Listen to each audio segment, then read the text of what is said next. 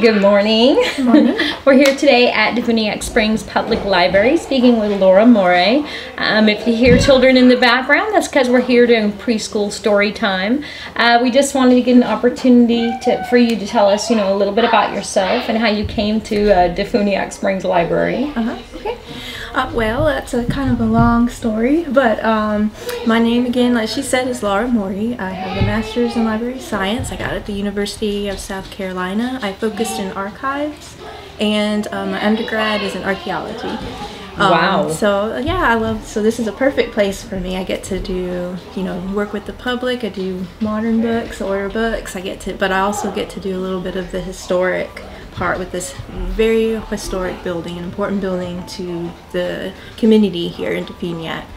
Um, I came here, I moved here to DeFuniak Springs after Hurricane Michael. Um, kind of changed our life course a little bit. We used to live in Callaway, and I worked as the local history librarian for the Bay County Public Library.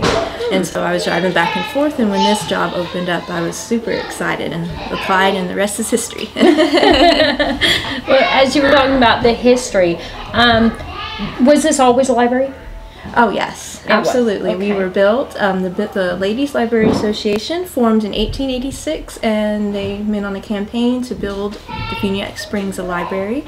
Um, as it was very important they have a library um, since they Florida to Chautauqua was, was all about um, trying to be learning and education and all of that. So they the building was actually completed in 1887, and we've been a library ever since. Wow, that is amazing. Um, I noticed that there's a lot of gardens surrounding the building. Um, do you guys do events outside or just indoor events as well? No, we do inside and outside events. Um, the the garden is actually maintained by the um, DeFuniak Springs Garden Club, and they're actually out there today working on it. They've been doing some updates, improvements, some landscape work.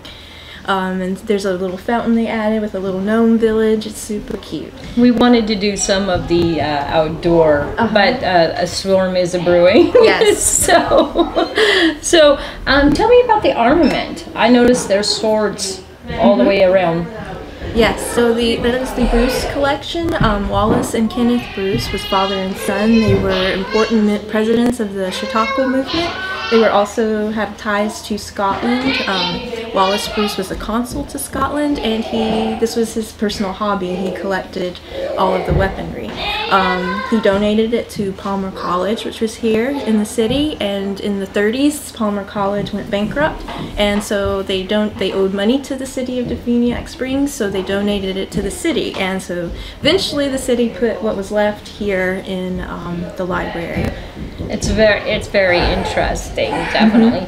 Um, and what events do you have? Obviously, preschool reading time. Yes. What other events do you have during the during the month? Okay, so since COVID we shut down, we're slowly trying to get back up and running again. Um, we have chess club for all ages on Wednesday afternoons.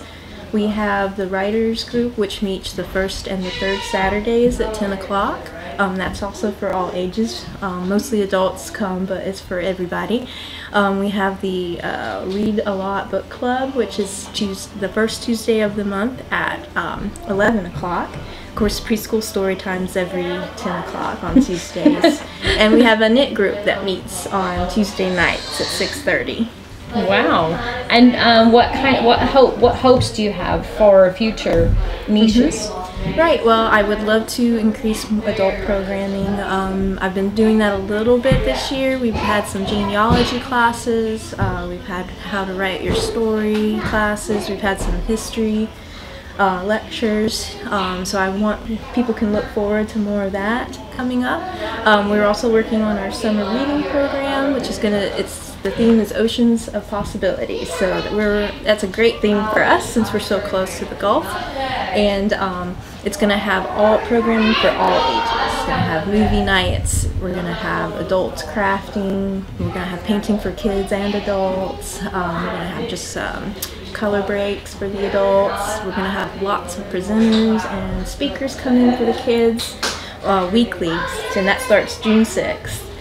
That's fantastic. Yeah. Um, are you looking for volunteers at all during during the summer or volunteers at the library? I know a lot of the city looks for volunteers for different things. Uh-huh.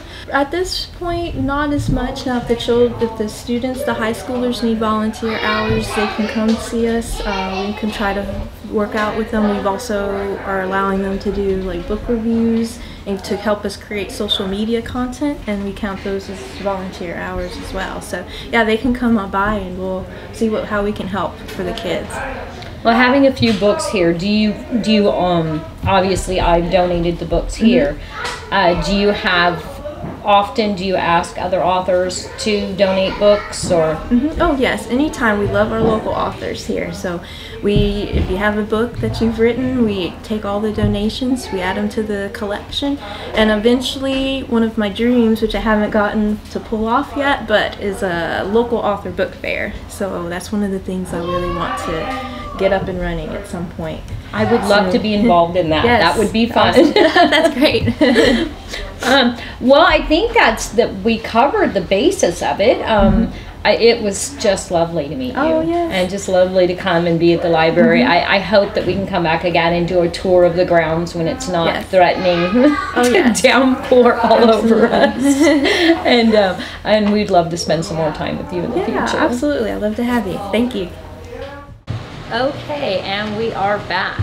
Um, we are again talking with Laura Moree, and she's going to tell us a little bit about the armament and some of the books here in the foyer. Yes.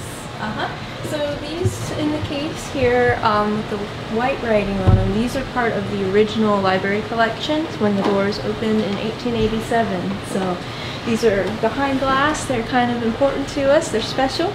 Um, when we go and with the armament, the we think that that is the oldest weapon that we have from the Crusades.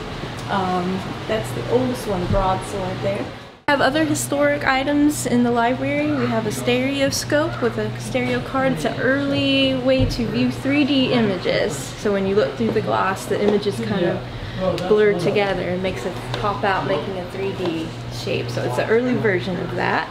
Yeah, so this is a set of Persian chainmail that's on the wall. We used to have a Persian shield, but it's back down in storage. Um, but yeah, so that it's very old, very unique. People, the kids especially, they love it. So it is an authentic conquistador helmet. A lot of people will ask, did it come from the lake? Um, no, it's not local, because he did go overseas to collect all of the pieces that you see here. Um, this library holds probably about a tenth of the original collection.